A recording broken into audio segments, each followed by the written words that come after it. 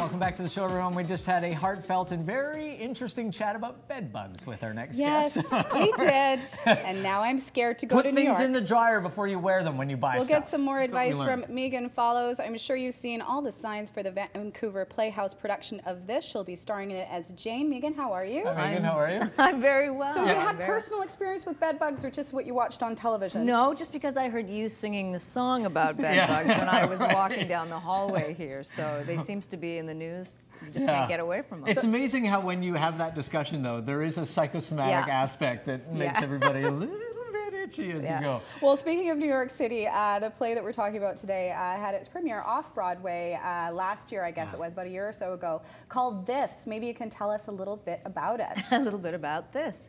Um, this is a play written by Melissa James Gibson. Um, it's about five friends, uh, as it says on the on the sort of description of the play, backing their way into middle age. Which, Which I seems guess to means be, reluctantly, I was going to say, be, but yeah. but generationally, that's sort of the story of our generation too. Yeah. No one wants to quite jump Admit into that middle we are actually getting into our middle age. Yeah. Wow. And so it's a story of the friends, and uh, my character Jane is a, a widow. It's coming up to the year anniversary of the death of her husband, and um, and it's about her friends and, and a choice that's made that has pretty serious uh, ramifications. What attracted you to it? I- I, mean, obviously, you know, you, you can at least a little bit pick and choose what you want to do and, and when you do it, but why this at this time for you? Uh, I love Why the this? writing. Yeah, This, this. This yes, word yes. is going to feel redundant after a while.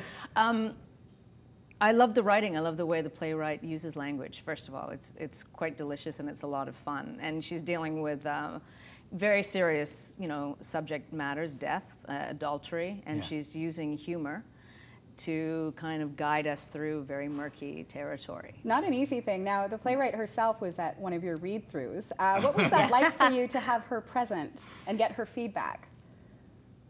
It was actually really wonderful. It's I haven't most of the theater. Well, I've done uh, uh, the playwrights. There are some playwrights still living, but I haven't actually. Yeah. Chekhov wasn't Chekhov with was you. not, was not with us when That- we, you know, Chekhov, Shakespeare Shakespeare. No, he was Ibsen. They were not anywhere to be seen in the rehearsal hall. Um, so it's pretty exciting, as I was saying, to be sitting there speaking words and realizing that everything coming out of my mouth started off originated inside her head.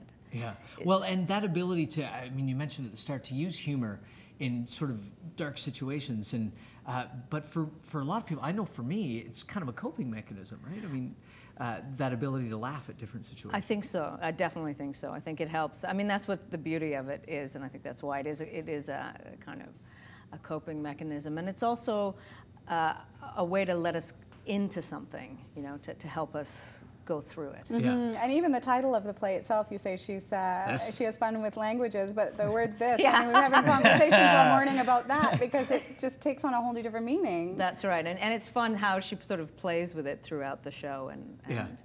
how much it can mean, how little it can mean. It's got to be fascinating from from your perspective as an actor when you when you first get a script and, and someone asks you whether you want to do this job to to when it actually you know the production day comes along does it change a lot uh, uh, your perception of, of what it is that you're doing and, and your character and the whole plot and everything Absolutely. Uh, absolutely. I mean, some things are sort of, there's sort of an instinctual immediate hit that you might get off of reading something or a reaction that I have, but part of why I love what I do is that there's so much I don't know. Yeah. So it's really a process of discovery, and it and that's really the gift, and especially when with great writing, it's it's a treasure map. It's all there. I just an don't interesting know. way of I don't know it. what it is. I don't know quite how to get there yet or how to discover it. Mm-hmm. And uh, you know, and I'm still discovering it. I'll discover that right through the end of the run. And usually, when I do that last performance, I'm like, oh, I still. You know? and through a whole career as well right i mean it's it's the same metaphor that sort of follows along through when you're younger you know you can understand a certain amount of material and a certain way of doing things but as you're older you can sort of stretch that out a little bit Well, as I think so too, and I think age and all and experience, you know, informs and changes the way we look at things, which is why it's really wonderful to go back and revisit roles, if you can, over a period of, Right. of a career, because you look at them from a completely different perspective. Was it theater first for you or television? Uh, What came first? For me, professionally working, as I started working as a child, was in television. Uh, but my parents are both actors. My mother, Dawn Greenhalgh, my father, Ted Follows, and they I grew up watching them on the stage. Yeah. So the world of the theater was what I was exposed to through the, through their process and their life. No rebellion at any stage. I'm, I'm going to do something else. I'm going to be an accountant. Gonna- Yeah, really. to be an accountant, that would have been a. Was it always there though? I mean, I mean that desire For to. me, it was always there. I think I just watched. Uh, I just loved. Uh, I had a rich inner life. How nice to take your rich inner life and actually get to take it out of your head Right. Yeah. and get to play. It's you know it allows us to stay kids in a way.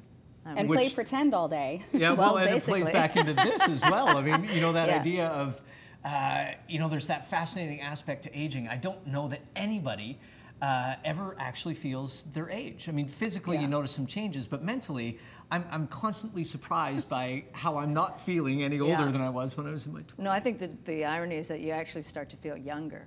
It- It's sort of a weird, or you know, you feel like, I, Yeah. I feel so young, you know, Yeah. or there's so much I don't know, or, you know, the world's become so much huger, and then you realize, oh my goodness, you know, Yeah. it's sort of a reverse process. The world's but- much huger, but I can't climb that Yeah. anymore. Has this made you think uh, about that a lot, about middle age, aging, and everything that we all go through? Uh, yeah. It. Don't It- do it. Yeah. uh, no, it's also, you know, it really is a testament to friendship too. Yeah. who your friends are, how you treat your friends, where you put your loyalties. And that I think is something as we, you know, get older, that's what we know we have. We have our family, we have our friends. Yeah. And so that's it, that's kind of a beautiful journey in the piece. Well, and all these changes that come into your life through your family, through your friends, as they change and their circumstances change, like Yeah. you, there's an uh, there's a confusion that comes, I think, as you sort of you know go through everything as well. Well, Megan, thank you so much. You can go see this. It uh, will be on until January 29th. You can go to the website to find out all the information about showtimes. Very nice. We're going to take a break.